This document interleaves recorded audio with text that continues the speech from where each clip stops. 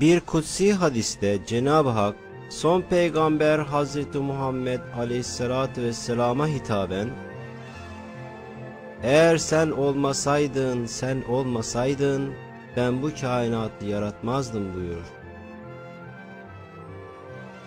Şu görünen büyük aleme büyük bir kitap şeklinde bakıldığı takdirde Muhammed Aleyhisselatü Vesselam'ın nuru o kitabın katibinin mürekkebi hükmünde olur. Eğer bu büyük alem bir ağaç şeklinde hayal edilse Muhammed Aleyhisselatü Vesselam'ın nuru o ağacın hem çekirdeği hem de meyvesi olur. Eğer dünya cisimleşmiş bir canlı olarak düşünülse Muhammed Aleyhisselatü Vesselam'ın nuru onun ruhu olur. Eğer kainat büyük bir insan şeklinde düşünülse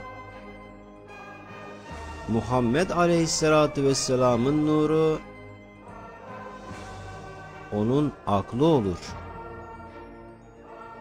Eğer bu alem bir cennet bahçesi şeklinde düşünülse Muhammed Aleyhisselatü Vesselam'ın nuru hakkı ilan eden bülbülü olur. Eğer bu alem pek büyük bir saray kabul edilse Muhammed Aleyhisselatü Vesselam'ın nuru o saray sahibinin davetçisi ve tanıtıcısı olur. Yeryüzünde gelip geçmiş insanların en seçkin ve mükemmel fertleri Hazreti Adem ile başlayan peygamberler silsilesidir. Bu silsilenin en büyük ve en mükemmel halkasını da hiç şüphe yok ki son peygamber Efendimiz Hazreti Muhammed sallallahu aleyhi ve sellem teşkil eder.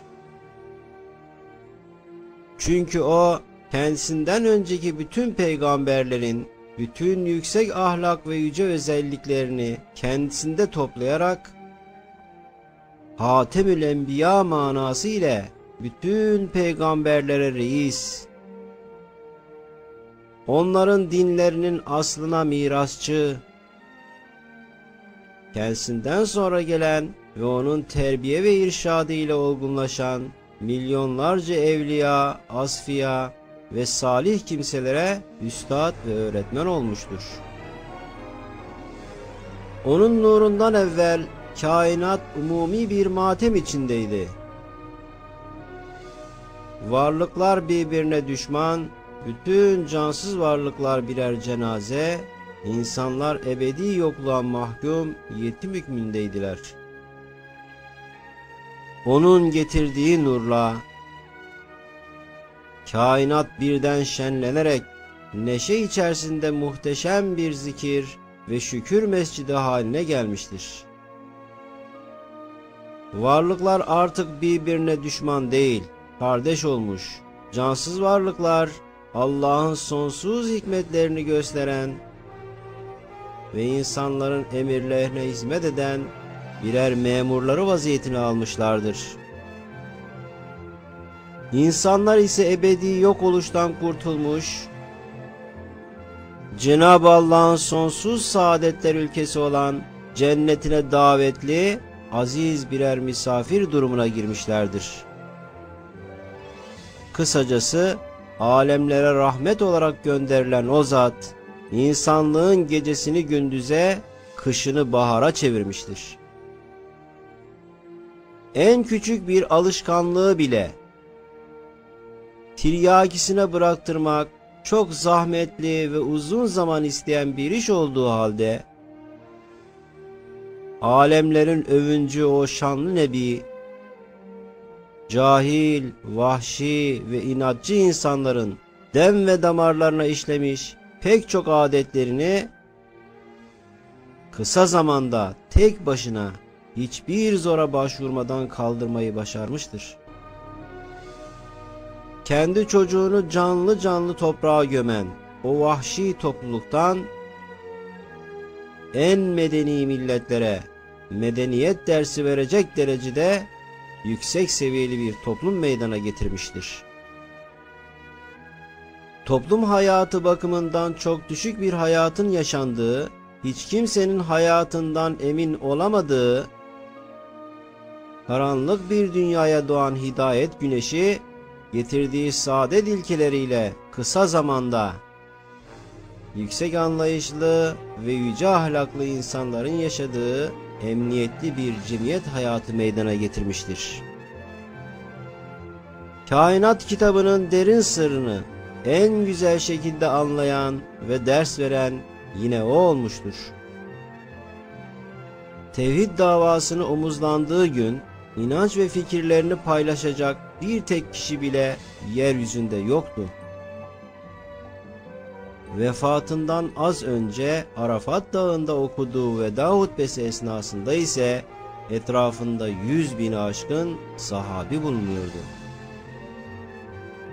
1400 küsur sene sonra bugün ise onun getirdiği nurun etrafında renkleri ayrı, dilleri farklı ama inanç ve gönül birliği içinde bulunan bir milyara aşkın ümmeti mevcuttur.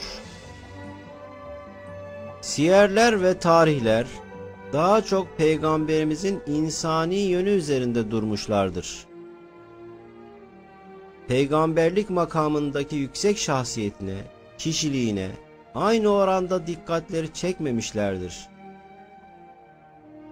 Halbuki o eşsiz zata gerçek hürmet ve tanıma daha çok peygamberlikle ilgili kişiliğindeki seçkin özelliklerinin bilinmesiyle olur.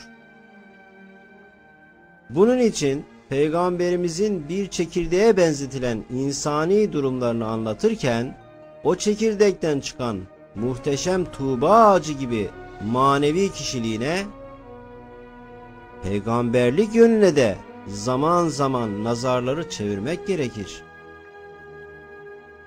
Mesela o zatın çarşı içinde bir at alışverişinde sıradan bir bedevi ile pazarlık yapmasına bakıldığında manevi şahsiyetinin anlaşılması mümkün değildir.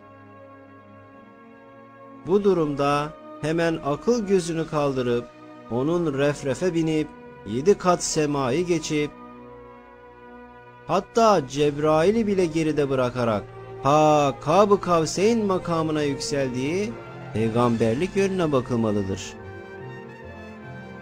Günümüzde insanlığın asıl ızdırabı kainatın efendisi Hazreti Muhammed sallallahu aleyhi ve sellemi tam manası ile tanıyamamış, hakiki şahsiyetini bilememiş olmasından ve getirdiği esaslara karşı lakayt kalmasından onlara aşk ve şevk içinde kucak açmayışından ileri gelmektedir. Dünyanın manevi sarsıntısı da, sıkıntısı da, anarşi ve huzursuzluk içinde bunalması da onu anlamamaktan ve tanımamaktan ileri gelmektedir. Halbuki Peygamberimizin ümmetine karşı son derece şefkatli ve merhametli olduğunu Kur'an-ı Kerim de belirtiyor. Evet, kesinlikle bildirilmiştir ki mahşerin dehşetinden herkes, hatta peygamberler dahi nefsi nefsi deyip kendi hesaplarını vermek derdine düşecekleri zaman Peygamberimiz Hz. Muhammed sallallahu aleyhi ve sellem ümmeti ümmeti diye şefkatini ve merhametini göstereceği gibi yeni dünyaya geldiği zaman annesi onun münacatından ümmeti ümmeti işitmiştir.